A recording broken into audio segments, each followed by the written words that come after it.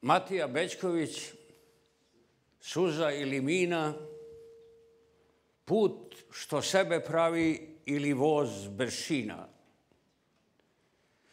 Nosi li on bombu umjesto glave, davi li on reči ili njega dave? Nosi li on rupu umjesto srca ili kao davljenik u svom srcu grca? Je li on santa leda otkinuta ili zver što na njoj zavija i luta? Je li on grom u lance vezan kao štene ili hladna vatra u grudima stene?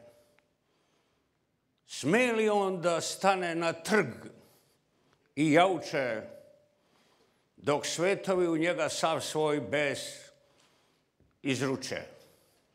Nosi li zamrzle munje u rukama, hoće li on biti slabić na mukama?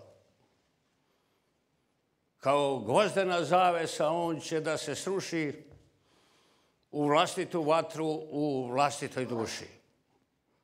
Baš je njega briga, bar je njemu lako, sve je oživelo čega se dotako.